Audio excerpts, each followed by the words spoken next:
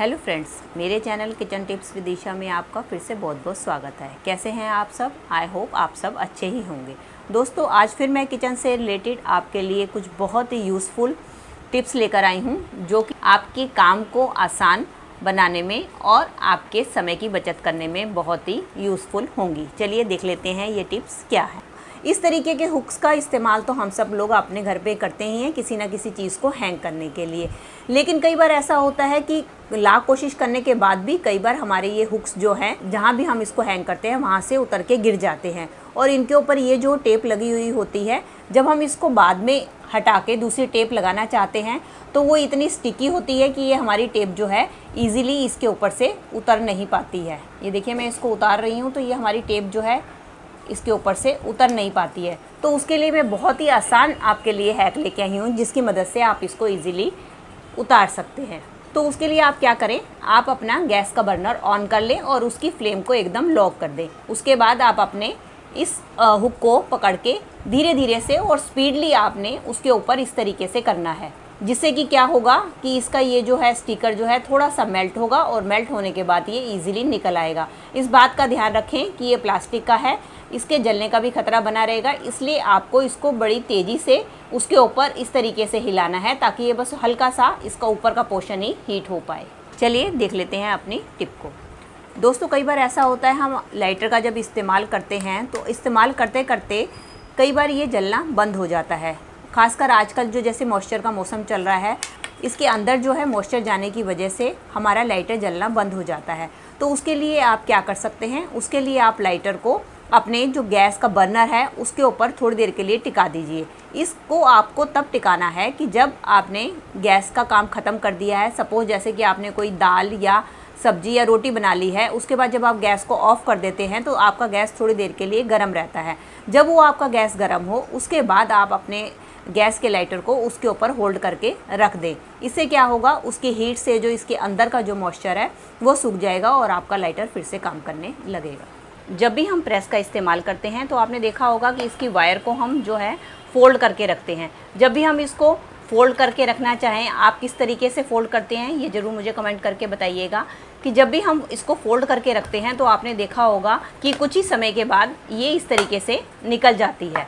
तो हमें इसको अच्छी तरीके से बाँध के रखना पड़ता है, जिससे कि ये बार बार हमारी तार खुले ना। उसके लिए मैं आपको दो मेथड बताने वाली हूँ। इसमें से जो भी आपको आसान या अच्छा लगे, उसका इस्तेमाल कर सकते हैं।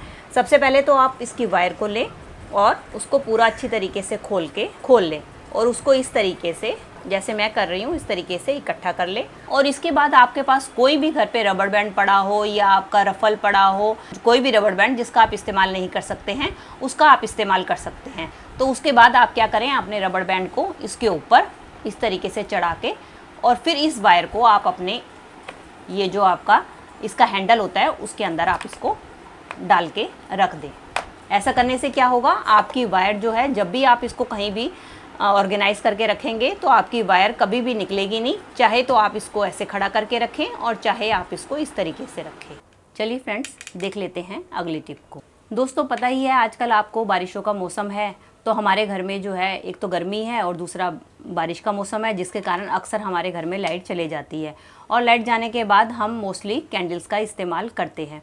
तो कैंडल्स को जलाने के लिए हमें या तो कैंडल होल्डर की ज़रूरत पड़ती है या हमें कोई ऐसी चीज़ चाहिए होती है जिसके ऊपर हम कैंडल जला सकें। कई बार तो ऐसा होता है कि हम फ्लैट सरफेस पे ही जो है अपने कैंडल को जला लेते हैं, जिससे क्या होता है जो कैंडल का जो मोम है, वो हमारे जो है सरफेस पे गिर जाता है, जिससे के कारण हमें बाद में काफ़ी दिक्कत आती है उसको उतारने के लिए। तो उसके लिए मेरी जो टिप है आपके लिए काफ़ी यूज़फुल होने वाली है कि जब भी आप नेक्स्ट टाइम पे कैंडल को जलाएँ तो उसके लिए क्या करें? उसके लिए आप इस तरीके की कोई भी कटोरी ले लें। चाहे तो आप कटोरी ले लें, अगर आपके पास ऐसी कटोरी नहीं है तो आपके पास कोई भी छोटा या बड़ा गिलास होगा, उस गिलास का आप इस्तेमाल कर सकते हैं। उसके बाद क्या करें कि आप अपने कैंडल को इसके अंदर इस तरीके से प्लेस कर दें और इसके बाद इसमें डाल दें आप पानी। ये देखिए, इस तरीके से ये हमारा सुंदर सा कैंडल होल्डर बनकर तैयार हो गया। हमें किसी भी बाज़ार से पैसे नहीं खर्च करने पड़े कैंडल होल्डर लाने के लिए। अब आप इसकी मदद से कैंडल को इजीली जला सकते हैं। अब सबसे बड़ी बात आपके मन में ये आ रही होगी कि मैंने इस कटोरी में पानी क्यों डाला है? वो मैंने पानी इसलिए डाला है कि इसके दो फ़ायदे होंगे। एक तो ये कैंडल जो है पानी के अंदर रहेगी, जिसके कारण जो है, जो कैंडल है, थोड़ी सी हार्ड हो जाएगी और जो है ये कैंडल जो है ईजिली मेल्ट नहीं होगी। और दूसरा है कि अगर हमारी कैंडल को हम जलाएँगे तो आप देखते हैं कि कैंडल जलाने के बाद ये थोड़ा इसमें से मोम टपकता रहता है। तो वो हमारा जो मोम है, वो सरफेस पे ना गिर के इसके पानी के अंदर गिरेगा, जिससे कि हमारे दो फ़ायदे होंगे। एक तो हमें बार बार सफ़ाई नहीं करनी पड़ेगी, और दूसरा फ़ायदा ये होगा कि हमारी कैंडल भी ज़्यादा देर तक जलेगी। चलिए फ्रेंड्स, मेरी अगली टिप होने वाली है इस तरीके की बेल्ट को ऑर्गेनाइज करने से लेके। आपने देखा होगा, जब भी हम मोस्टली बेल्ट को ऑर्गेनाइज करते हैं तो आप, हम मोस्टली जो है इसी तरीके से राउंड करके रखते हैं। लेकिन आपने देखा होगा, जैसे ही राउंड करते हैं, हम जहाँ भी इसको प्लेस करके रखते हैं, ये इस तरीके से खुल जाती है।